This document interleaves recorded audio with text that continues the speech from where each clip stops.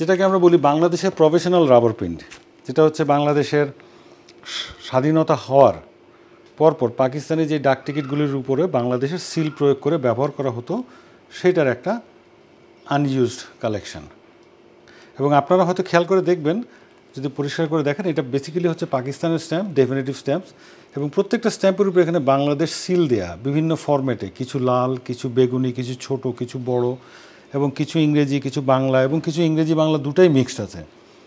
এইটাকে আমরা বলি প্রফেশনাল রাবার প্রিন্ট যেটা হচ্ছে স্বাধীনতার পরবর্তীতে আমাদের নিজস্ব স্ট্যাম্প না থাকার কারণে এই ডাক টিকিটগুলি এইভাবে ব্যবহার করা হতো।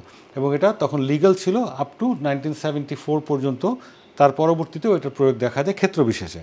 এবং এখানে দেখা যাচ্ছে বিভিন্ন প্যাটার্নের কিন্তু এই ডাক টিকিটগুলি হয়ে থাকে। আপনি যদি খেয়াল করে দেখেন, এখানে কমপ্লিট একটা কালেকশন একটা বাংলাদেশের সিলটা বেশ বড়, এখানে বাংলা, এখানে ইংরেজি, এবং এখানে আবার দেখেন আরেকটু বক্স টাইপের এক একটা জিনিস কিন্তু এক এক রকম ছিল, এবং যেহেতু এটার কোনো নির্দিষ্ট গাইডলাইন ছিল না যে কী ধরনের হবে, বাংলা হবে বা ইংলিশ হবে, সেই জন্যেই এটার বিভিন্ন রকমের ব্যতিক্রম দেখা যায়।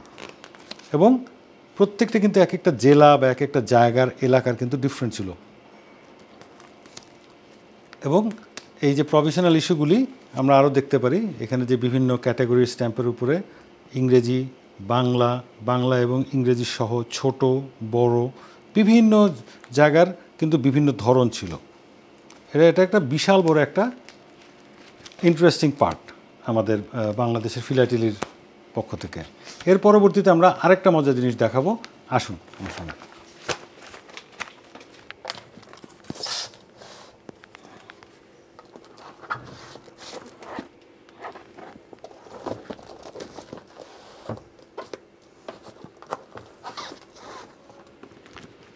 আমি রেভিনিউ যেহেতু খুব পছন্দ করে কালেকশন করি, এখানে যেমন আমি বিশ পয়সা থেকে শুরু করে আমাদের বাংলাদেশে যে নন জুডিশিয়াল স্ট্যাম্পস আমরা করি, সেটাও কিন্তু একটা রেভিনিউর পার্ট হুম, এইভাবে আপনারা যদি খেয়াল করেন যে এখানে আপনারা দেখেছেন যে আমি হয়তো দুটা ভ্যালুকে পাশাপাশি রেখেছি, পঁচিশ পয়সা এবং পঞ্চাশ পয়সা, এর একটা জুডিশিয়াল স্ট্যাম্প এর পরবর্তীতে আমরা পঁচাত্তর এবং এক টাকা এই সিরিজের এরপরে ক্রোনোলজিক্যালি আমরা এক টাকা পঞ্চাশ পয়সা এবং পরবর্তীতে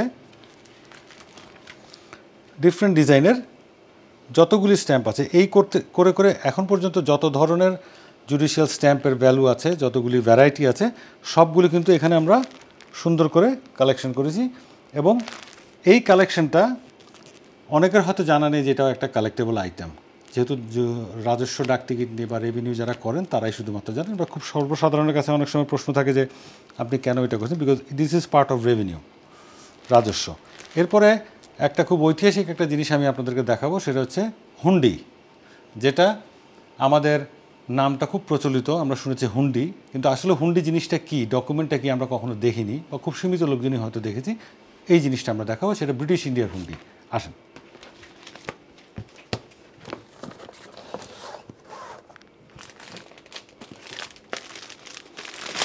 আমরা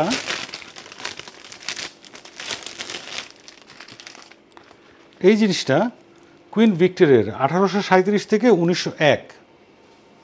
এই সময়কার এটা হুন্ডি। আমরা হুন্ডির শব্দটার সাথে বেশ পরিচিত। কিন্তু হুন্ডি জিনিসটা কি আমরা অনেকে হয়তো দেখিনি। আপনাদেরকে এখন দেখাচ্ছি। এখানে দুই আনা, চার আনা, ছয় আনা, আট আনা, দশ আনা, বারো আনা, এক রুপি, আট আনা থেকে শুরু করে আড়াই হাজার রুপি পর্যন্ত ট্রানজ্যাকশন হয়েছে এই ডিনোমিনেশনগুলির মধ্যে। এখন আমরা এটাকে আপনাকে দেখাচ্ছি, আপনারা এই জিনিসটা খেয়াল করে দেখবেন। এটা হয়তো অনেকেই হয়তো আপনারা দেখেননি ব্রিটিশ ইন্ডিয়ার হুন্ডি। এই হচ্ছে আমরা হুন্ডি বলি এটাকে। এটা যদি আপনারা খেয়াল করেন,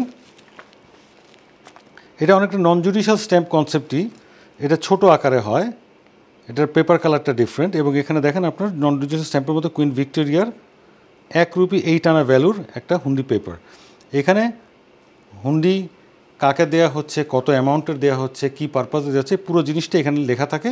ইটস লাইক এ চেক আপনি এটা যাকে দেবেন, সে হয়তো আপনাকে সেই অ্যামাউন্টটা দিয়ে দিবে ইটস লাইক এ চেক